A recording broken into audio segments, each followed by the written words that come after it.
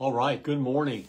Happy Tuesday, day two of our prayer week.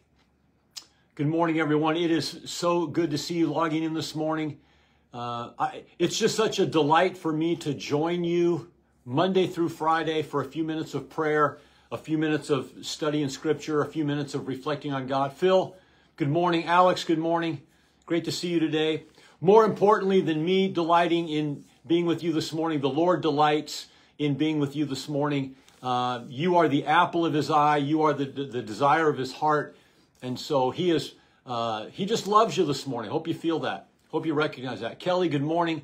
Great to see you today on this fantastic, beautiful summer day in Sioux Falls, South Dakota. If you're joining us live this morning, 8 o'clock Central Time, 6 o'clock Pacific Time, 9 o'clock Eastern Time, East Coast Time, uh, you have 16 hours. That's it. 16 hours to win the day. You don't have to worry about three days from now. You don't have to worry about next week. You don't have to worry about next month. Jesus said, be concerned with today. Tomorrow will take care of itself. God, God is in the tomorrow, but he's also in the today. So, um, hope you're having a great morning so far. We've been talking about prayer since January 1st, focusing on kind of uh, reestablishing our prayer lives, taking our prayer lives to another level. Good morning, Cody. Great to see you this morning. It was great to meet your sister on Sunday. All right. One, one type of prayer that we exercise or use is called a prayer of declaration. A prayer of declaration is when, in the context of your, your prayer time, you say scripture, you speak scripture, you quote scripture.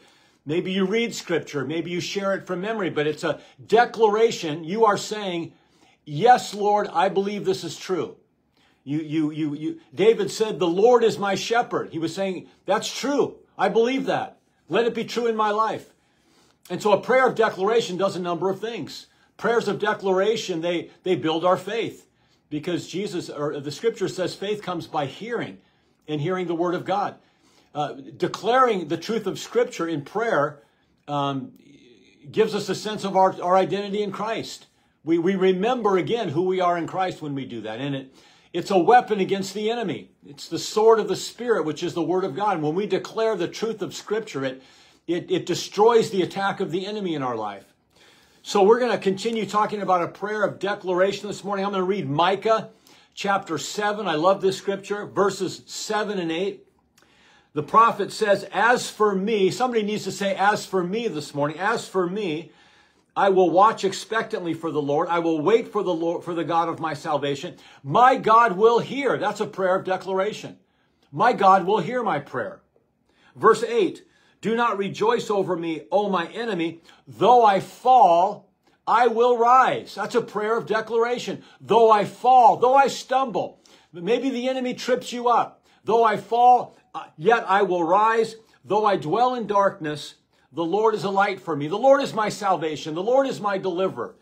And so we're just going to make that prayer of declaration about though I though I fall, yet I will rise. And we've been talking about things we need to rise above. We're going to look at one more thing today. Good morning, Ben.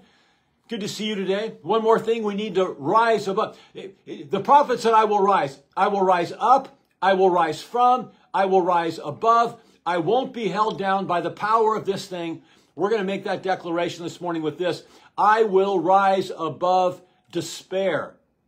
I will rise above despair. What is despair? Who knows what despair is this morning? Despair is the feeling of hopelessness. It's losing all hope. Despair is the feeling that nothing will ever change or can change. That's despair. It's a feeling that nothing's going to change or nothing can change. Despair is the feeling of being stuck. Who's stuck this morning? There's a number of, of things we feel stuck in. You can feel stuck in grief, stuck in sorrow. You can feel stuck in anger, stuck in bitterness. You can feel stuck in shame. We talked about that yesterday. Stuck in shame, stuck in guilt. You can feel stuck in addiction, stuck in bondage to sin. You can feel stuck in fear, you can feel stuck in anxiety. You can feel stuck in depression. You can feel stuck in poverty. You can feel stuck in resentment and unforgiveness. You can feel, you might be stuck in a toxic relationship. You can be stuck in a dead end job. You can be stuck in poverty. You can be stuck in lust and pornography. You can be stuck in sexual sin or loneliness. Despair is the fear that your reality will never change. It's the fear that your reality will never change. We have to believe two things to overcome despair. Number one, God will either change my circumstances. God is able to do that, but God, He'll either change my circumstances or He'll change me. He's not going to leave me stuck. He's either going to change my circumstances or give me the power to endure or overcome my circumstances. Let's look at some scriptures. Psalm 18, verses 2 through 6. The Lord is my rock and my fortress and my deliverer. He's the one who takes me out of, delivers me from, causes me to rise above. My God, my rock in whom I take refuge, my shield, the horn of my salvation, my stronghold. Listen, I call upon the Lord who is worthy to be praised, and I am saved or delivered from my enemies. The Lord's a deliverer. He's a savior. He pulls us out. The, the cords of death encompassed me. The torrents of ungodliness terrified me. The cords of Sheol, hell, the underworld, surrounded me. The snares of death confronted me. In my distress, I called upon the Lord and cried to, the, to my God for help. He heard my voice out of his temple, and my cry for help came before him into his ears. The Lord is my deliverer. Then skipping down in that same psalm to verses 16 and 17, he sent from on high and he took me. He rescued me. He drew me out of many waters. He delivered me from my strong enemy, from those who hated me, for they were too mighty for me. He's talking about the, the, the cords of death encompassed me. The, the cords of Sheol surrounded me. The snares of death confronted me. But in my distress, I called on the Lord and the Lord delivered me. See, he, he, may, he can either take you out of it, change your circumstances, or change you. All right? How about, how about Jeremiah 32, 17? The prophet says, Ah, Lord God, you have made the heavens and the earth by your great power and by your outstretched arm, and nothing is too difficult for you. Hear what the prophet said, Jeremiah 32, 17. Nothing's too hard for you. Nothing's too difficult. You are able to get me unstuck. You are able to deliver me from despair, from the feeling of hopelessness, the feeling that my life won't change, the feeling that, that I'm stuck here forever. All right, that's, that's despair. How about, how about Philippians 1 6?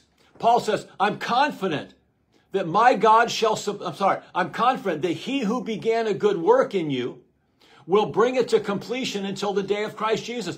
God's working in you. God's changing you. God's, God's altering your perspective. God's giving you strength and power to push through whatever you're in today. Philippians 4:13, I can do all things through Christ who gives me strength. You're not stuck, friend. The Lord is releasing you. The Lord is delivering you. The, the Lord is sustaining you, getting you through it. Come on. He's either going to change your circumstance or he's going to change you, but he's not going to leave you stuck. And some of you are caught in despair. You're stuck this morning.